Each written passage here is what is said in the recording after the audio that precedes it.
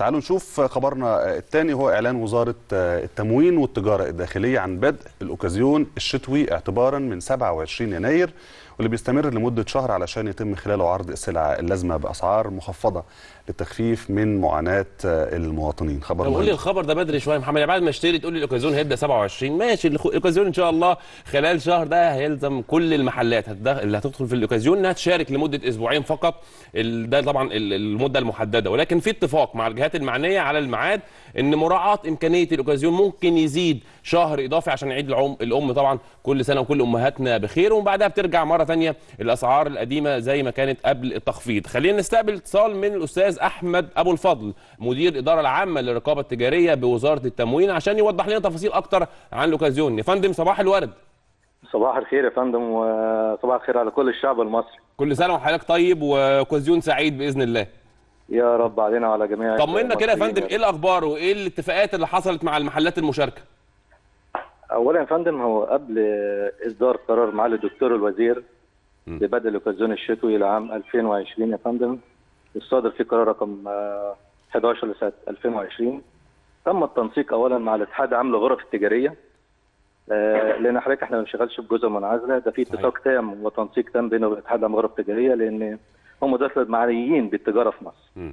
وتم الاتفاق على أن يبدأ التصفيه الموسمية الأولى لعام 2020 في 27 1 2020 تمام. ابتداء من يوم الاثنين يعني. تمام. آه مدة الاوكازيون يا فندم هي شهر م. على أن يكون لكل محل أسبوعين. آه دي نمرة واحد. آه نمرة اثنين الهدف من الاوكازيون أساسا هو تحريك البضاعة اللي موجودة في المحلات وتنشيط حركة التجارة. م. ده بيتبعه طبعا إجراءات إحنا بنعملها بالتنسيق مع الاتحاد العام. والتنسيق كان مع جهاز حماية المستهلك واتساقا مع النهج اللي تتبعه بعض الشركات والمحلات في القيام باجراء تخفيضات على معروضاتها ومنتجاتها بنسبه خاص مناسبة في العديد من المناسبات. ومنها طبعا الأوكازيون الشتوي فهي فرصة لكل من التاجر والمصنع والمستهلك تمام. في اقتناء الأشياء بأسعار تبدو أنها آه في متناول الأيدي وهو فعلا دوت اللي حاصل. آه أول حاجة طبعا إحنا بنشاهد الأخوة تجار لمساهمتهم الفعالة في التجاوب مع متطلبات الشعب المصري وخاصة البيع بأسعار معقولة يكون متناول المواطن البسيط. دي حاجة حقيقية فعلا أنا بشكرهم عليها جدا.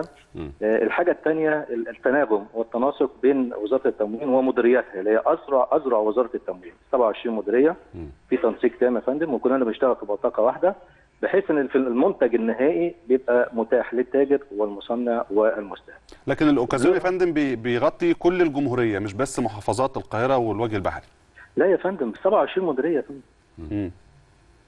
شكرا جزيلا الأستاذ أحمد أبو الفضل مدير الإدارة العامة للرقابة بوزارة التموين. كنت معنا من القاهرة. خبر مهم علشان كتير من الناس بيحتاج يشتري حاجات في الفترة دي. والأهم يا أبو حميد في الخبر إن أجهزة الدولة مركزة لأن كتير مننا ممكن يفقد الثقة شوية في المحلات إن الأوكازيونات دي مش حقيقية. لا ما يقول لي إن غرفة تجارة موجودة في المتابعة ما تبقى وزارة التموين بنفسها موجودة. 27 وكيل وزارة ل 27 مديرية موجودين. فأعتقد المحلات هتلتزم بالأوكازيونات الفعلية اللي هتكون موجودة داخل المحلات.